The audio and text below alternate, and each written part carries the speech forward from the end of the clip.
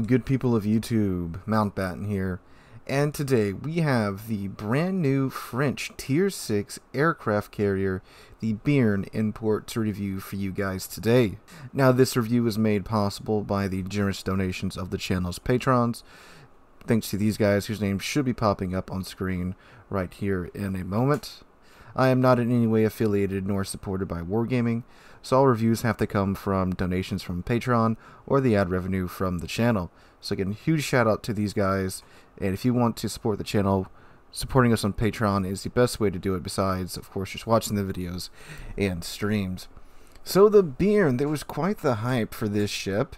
During testing, I've played against several of them during testing, even on stream, she seemed quite powerful quite brokenly powerful, and she was nerfed as such. And boy, they really broke out the nerf bat on this one, guys. Um, this is not the ship that I played against in my uh, Mutsu and got absolutely sunned by. This is kind of another Graf Zeppelin situation, but they didn't do the whole pull the rug out from under your feet at the very last second like they did with the Zeppelin. And plus, of course, the whole changes to the program and such. We you, did, you didn't really even get to see the Bearn of old that was mighty and powerful.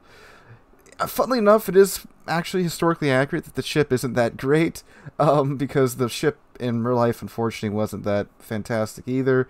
Constantly had problems with her engines, and that's kind of reflected in game with her top speed and such.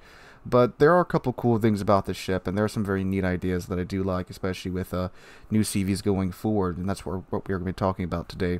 And full disclosure at the, at the start of the video, I'm a terrible CV player. So, yeah, if you're looking for a CV guide, this is not it. There are other content creators on YouTube and Twitch and such that are much better at CVs than I am, but I am going to be comparing the Bearn against the other CVs that I've played. So, while I'm not the best CV player, you know, the, the, the comparison field is level. So, even by my standards, this ship is quite bad. But anyway, let's go ahead and take a look at her. So, I've been noticing this little doodat right here. This is an elevator. This is an animated. This is super cool. This will move up and down in port. Uh, I don't know why it doesn't work in game though. That'd be so cool if while you're out and about with your fighters, as you're regenerating planes, they're coming up from the flight deck, being moved off of the elevator into onto the flight deck. But unfortunately, it only works in port. It'll go down here in a minute as we're looking at the ship, I do believe. But anyway, let's take a look at the Bearn. I, I didn't bother to read my commander or my build from it because it's mm, doesn't make that much of a difference. I mean, well, it kind of does, but we'll talk about that in a second. It's not like a surface ship, is what I'm trying to say. But for future reference, this is my build that I have on the ship at the moment. So with the modules, I went with Air Groups Mod 1. It increases the speed of the, planes returning. Air Engines Mod, mod 1 increases the boost time of the engine boost, which is very much needed for these planes. Skip Bombers Mod 1 gives you a couple more seconds on the attacking time of the skip bombers and then Bombers Mod 1, I'm sorry, Bombers Mod 2, which gives you more HP on the AP dive bombers. And the reason I went with Skip Bombers Mod 1, because the only other choice is a secondary battery modification, which unfortunately this ship didn't wind up being a little Graf Zeppelin like we thought about, uh, like, like we thought it might in testing. Um, and you could go Skip Bombers Mod 2 because the way the Skip Bombers work, you do spend a lot of time in the uh, surface ship's AA bubbles, but we'll talk more about, about that here in a minute. For right now, for my aircraft commander, I am using air supremacy, and then improved engines, then aircraft armor, survivability expert, enhanced aircraft armor, and then bomber flight control. Alright, so now let's look at the ship itself with those modules and skills taken into account. So, funnily enough, the armor on this ship is actually pretty good for a tier 6 CV. That's because the Bearn in game and the real life Bearn was a converted Normandie class battleship. So you got a nice thick armor belt of 83 millimeters. You got a strip plating back here of 50 millimeters, but everything else is 19 millimeters of armor. The deck is 24, and then its citadel is right here below the waterline. It is angled right here with 60 millimeter 60 millimeter strips, so I mean, that that's pretty nice. Uh, but you know, in reality, if your is being shot at, it's uh, things aren't going too well, which you'll see here in a moment. Survivability, the ship has 44,700 hit points, gets 19% torpedo damage reduction. Now the planes is of course where CVs matter. Well, these are the few stats that really matter about this CV because the, the boat itself is really just a floating um, airfield. So in reality, you're not going to be shot at on your CV most of the time if things are going well. So the planes. So the bombers with all the mods on and stuff, they have a hit pool of 1752. They have a cruising speed of 132 knots, maximum speed of 170 knots with the engine boost, 22 second boost time, 40 second engine boost reload time. You get two planes in an attacking flight. All in all, you get eight aircraft per squadron. The AP bomb it drops is a 500 kilogram bomb. You get two per payload and you have a maximum bomb damage of 3600. They're detectable from 10 kilometers away. 16 of these aircraft on the deck. They regen in 62 seconds. The skip bombers, same thing for the top speed, 132 cruising speed, 170 knot top speed, 20 second boost time, 40 second reload time, the engine boost, 2 aircraft per attacking flight, 8 aircraft per squadron, same 500 kilogram bomb except it's HE, you get two bombs per, per payload, and they do a maximum damage of 6100, and they only pin 32 millimeters of armor. They have a 37% chance of causing a fire per bomb. That's actually pretty nice.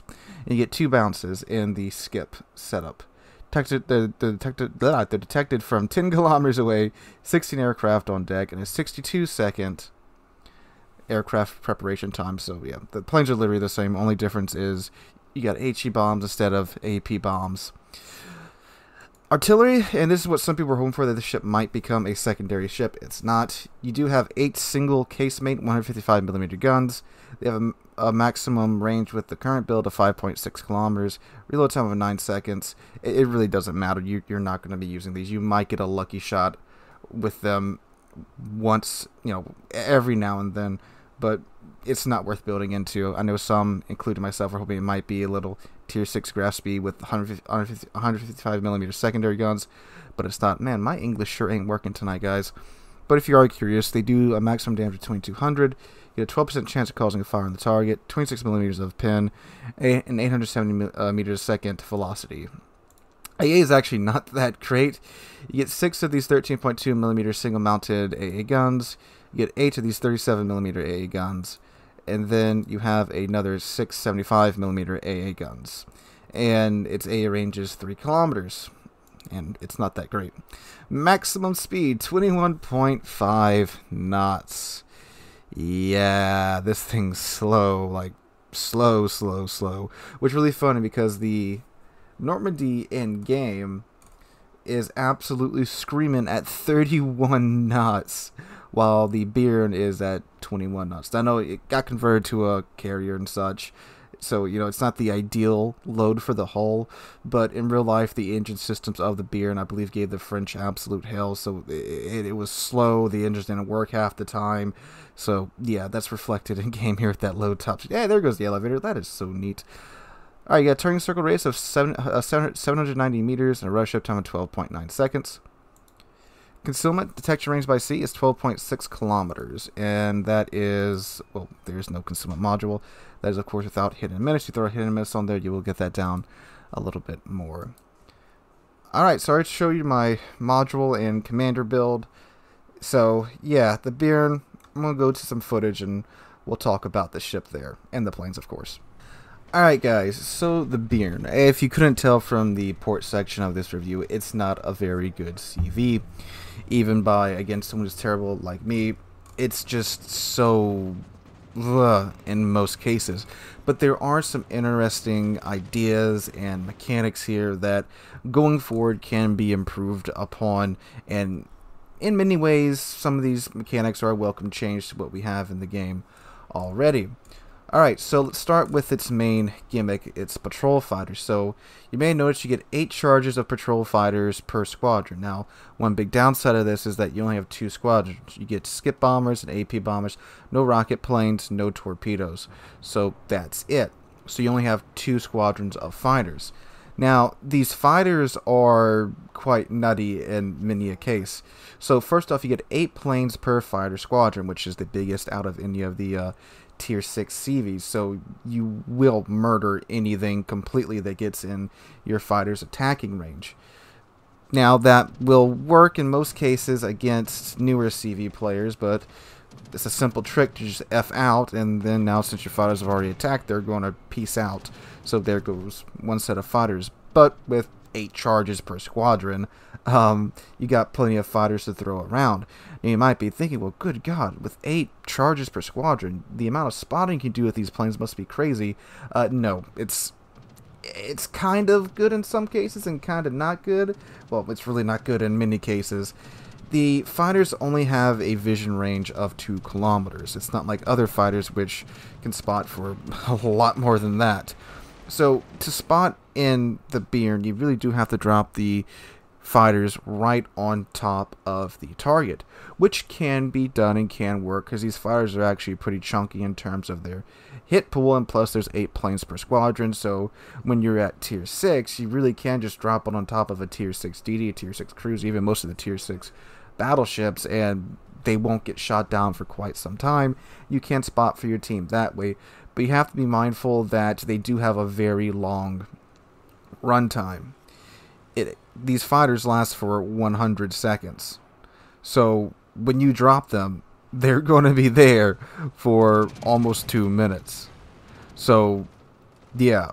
Now, if you're smart about where you drop them, absolutely you can just shut down the enemy CV just like that because again you got eight planes per squadron and they have a very large patrol radius three kilometers. And you'll see this toward the end of this replay that you're watching right now. Um, I think I'm with a Serov. You see the Serov's fighters uh, patrol radius. You can see the Bearn's fighter patrol radius. Like these fighters can be very strong when used correctly. But as we've talked about, this double-edged sword with a long runtime, only two charges of them. I'm, I'm sorry, only two patrols at a time because of your two squadrons, and they don't really spot that well. Now, you can build into them definitely with the commander skills, which I didn't really do. I focused on more of keeping my planes alive because I'm not that great of a CV player. So that's what I did. But even without building into them, it's not odd that you get like 20, 25 planes shot down in a squadron in tier 6. I'm sorry, uh, 20, 25 planes shot, shot down in a max in, in, in, a match with a tier 6 ship. But it is tier 6, it's where a lot of newer players are. So when you get to tier 8 games, not so much. And then, you know, you're fighting tier 8 ships. But we'll get to that in a moment. So the next set of planes that we're going to talk about, let's talk about the AP dive bombers. So the AP dive bombers, these things are freaking weird. I don't know what they were going for here, but if you haven't seen or haven't noticed just yet, these planes drop four bombs per run, alright? There's this weird, I think it's like half second delay between the first bomb set being dropped and then the second bomb set being dropped. So that's annoying. And you have to account for that when you're dropping these bombs. I, I don't know why they did that. It's weird. But with the AP bombers, these AP bombs have a pretty darn long fuse time or or pin threshold or something because you're only at tier 6 you're only pinning and citadeling battleships and like the heaviest of heavy cruisers like Graf Spee.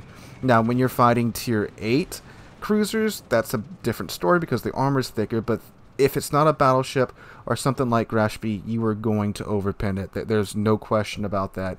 You might get lucky on some of the ships that have some weird geometry, like the Japanese cruisers, but other than that, uh, yeah.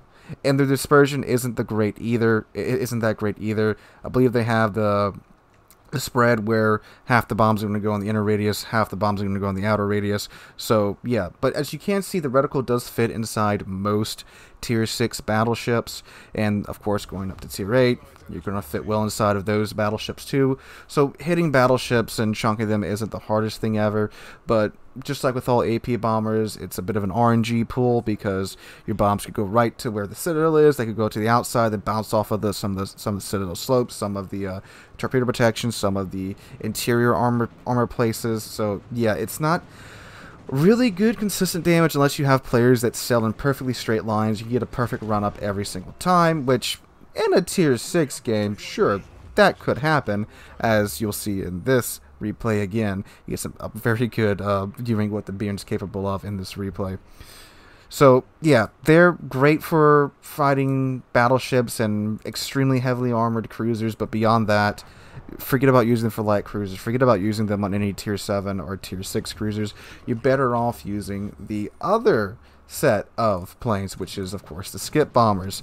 Now, the skip bombers, I didn't realize this because I've been playing a lot of Soviet CVs, but they do have one heck of a build-up time or preparation time for their run-ups.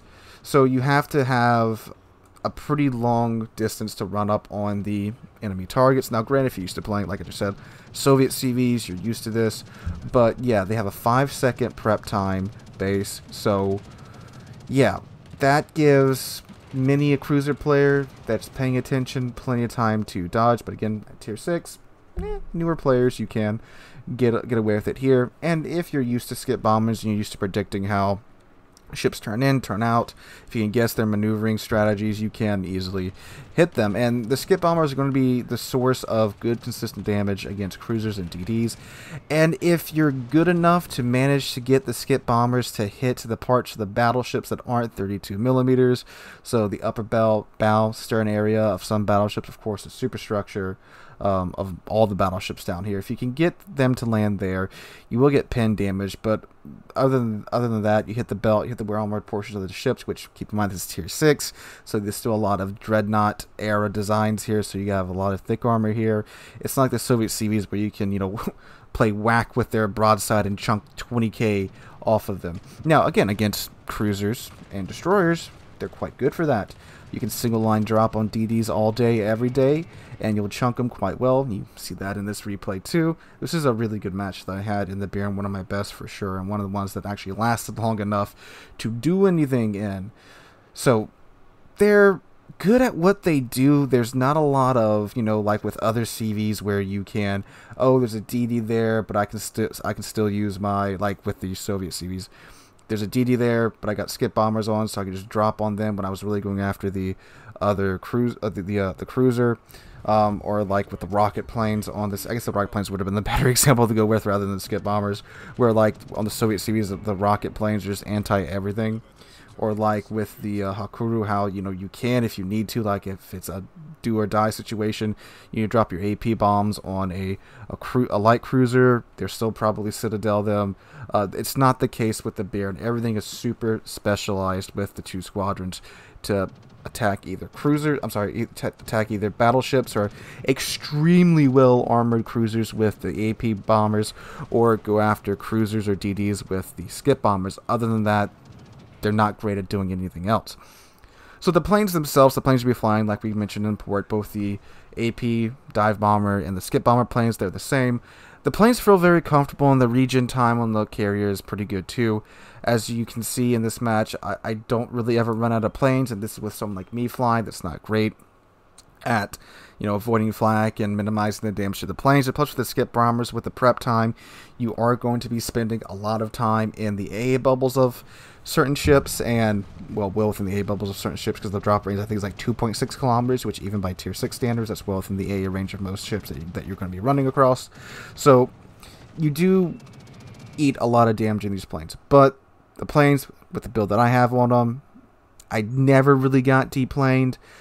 The only time I did get deplaned when playing the Bearn, which I played quite a lot of Bearn for this video, was when I was in Tier 8 games. Um, and even then, it wasn't till late in the match that I started to run out of planes. So it's comfortable there in those regards, and the fighters are the same too. There's a lot of hit, of, of uh, hit points on the fighters. That's why I say you can pretty pretty um, easily drop them right on top of ships that you want to spot, and they can spot them. But once they sail away, that is it for them. So, overall, the Bearn isn't a very good CV by any stretch of the imagination. Um, is it a bad CV? I'd say easily so. It's definitely one of the worst ones that I've played in the game. And this is saying a lot about a CV because CVs are some of the easiest ships to do pretty well in, in terms of damage. Now, the ship itself, it's cool. It's historical. I like the details they've added on it with the elevator that rises up and comes down. And I do like a lot of these, a lot of these mechanics. Fighters that are good at being fighters but have a reduced viewing range. Uh, aircraft that are highly specialized to do one thing, like with the AP dive bombers going after battleships. That's cool because you don't have that situation where it's like, and we've all been there, where CV's coming at you and it don't matter what type of armament he's got, you know he's about to just drop a buttload of hurt on you.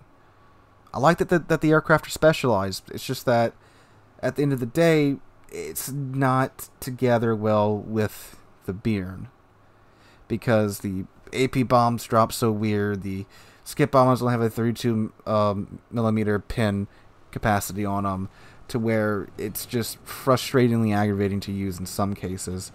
And the ship's incredibly slow too. So if you're in a bad situation, you're probably going to die because you cannot uh, you cannot run. You you're only slightly slightly faster than an American battleship with the speed flag on the Bearn. And I do mean like slightly faster.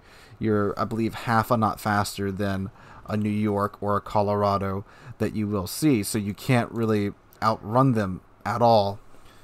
So yeah, that's not that great either all in all, I'd give this one a hard pass.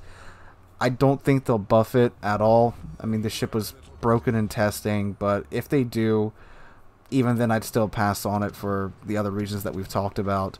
So just give the ship a pass. It's not worth the money, even though it is only a what $20 premium.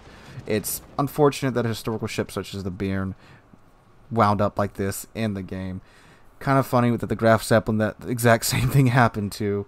Who knows? I'm sure we'll get a full tech line of French CVs in the future, be it a year or two years from now. But anyway, guys, let's start thinking about the Bearn, the Tier 6 Premium French Aircraft Carrier. Let me know you guys think in the comments down below. Hope you have a wonderful Tuesday. Hope you have a wonderful week. And I hope to catch you guys in the next one.